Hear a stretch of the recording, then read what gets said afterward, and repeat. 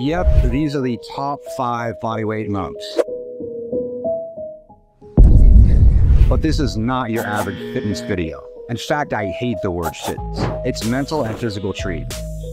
By the way, I'm traveling right now, so I'm not at my headquarters like my other videos. Now, people struggle with age, past injuries, and roadblocks all the time. And though these five moves might seem weird and unorthodox, we use them every day at Pacific Rim Athletics, and they pave the way to much higher levels of strength, flexibility, and skill like we have in Powerbatics.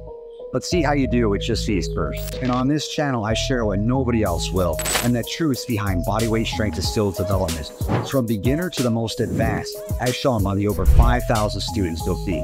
So subscribe so you don't miss out on precisely how they're doing it.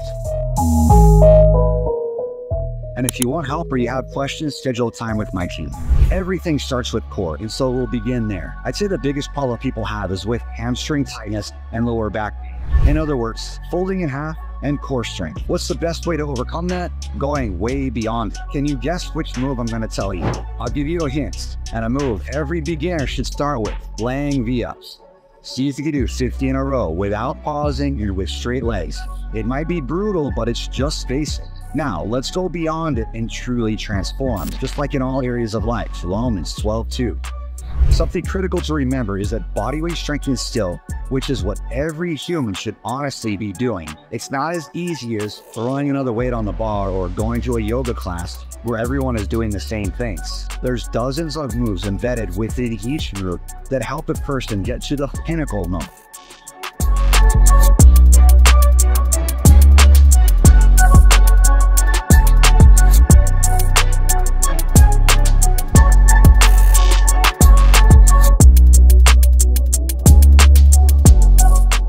So if I say the V stand is actually one of the best moves for bodyweight, not just laying V-ups or other silly basic core stuff, people will look at that and say they could never. Or others would rush right into it and get mad they can't do it. But it's a pinnacle move. For the V stand, and more importantly, pressing it into a handstand, I personally work through to help resolve tight hamstrings and lower back issues. I'd work right through the pain as well. Not telling you to do that, just saying what I use and how we train our students. And this builds into pike backflips and flares. Next move, let's do pushing string. I actually say bridge, all the whips, back walkovers, and hollow back handstands. Anybody can do a push-up. Well, maybe not anybody, but it's super easy at the lowest end of the spectrum. I'm not at all trying to be mean, but you have to look at it as similar to teaching letters of the alphabet. It's not real words yet just the letters. So a lot of fitness programs, which I can't stand that word, but hey, it's what they're doing. They use push-ups or push-ups on knees or push-ups on blocks, some sort of wide push-ups or diamond push-ups, or even up to bench press. Who cares if the pecs and shoulders are so tight they rupture?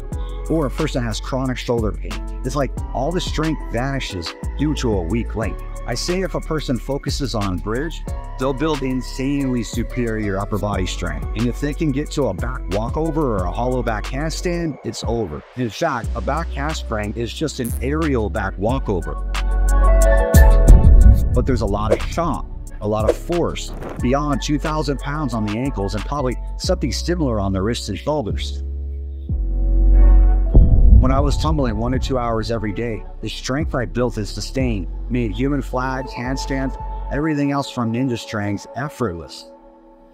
You want to know something interesting too? The V-stand and the bridge are counters to each other, forward bending and backward bending. Third moves, the legs.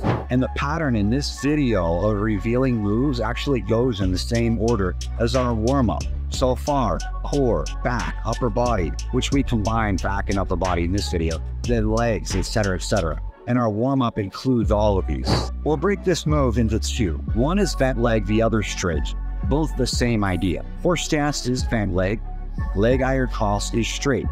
Starting time for horse stance is 60 seconds. Starting time for leg iron cross is 10 seconds after a max stretch. And sometimes when a person is training high intensity horse stance, they might transition to a, a, leg iron cross as a quick rest and then back to horse stance. And vice versa, when the stretch is crazy on middle splits, they might revert to a really low horse stance for rest fit.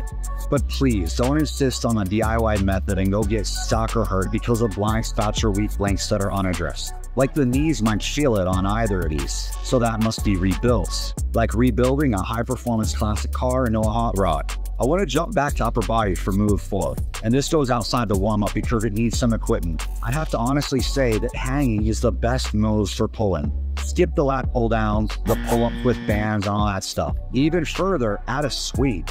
It doesn't need to be a giant around a high bar, but easy swings can generate up to one to two times body weight. And you'll build a V shape plus high tensile tendon strength, far better than any other modality of training.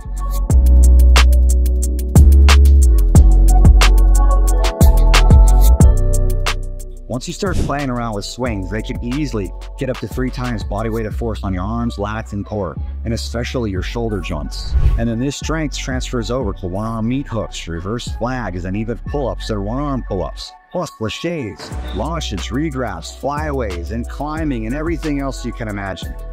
But just hanging is starting with some sort of swings, feeling the tension and building the strength. And for the fifth move, let's go to a skill, a cartwheel. Absolutely everyone should be able to do a cartwheel. Two hands, front hand, back hand, crooked, backwards in a Valdez, no hands with a butterfly kick, vaulting over a block with a cartwheel or a butterfly kick. Implementing in daily life for jumping over an obstacle. It's used in grappling to pass the guard. It's not just a fun kid's move or a fancy skill. Again, it's just about human movement. And it should be smooth, not banging joints on the ground. A nice, effortless cartwheel that requires good joint mobility, hips, hamstrings, and good core strength. And since I mentioned the order of warm-up, the other sections of warm-up include the wrists and then the knees, feet, and toes. But it's not rocket science or brain surgery. It's not dangerous. All these moves are just human movements. A combination of strength, mobility, flexibility, and something that nobody talks about, coordination. Want help with any of this or any other aspect of your training to help you achieve your maximum potential? Subscribe and use the links to dive in deeper with us and schedule a time. See you in the next video and in training still.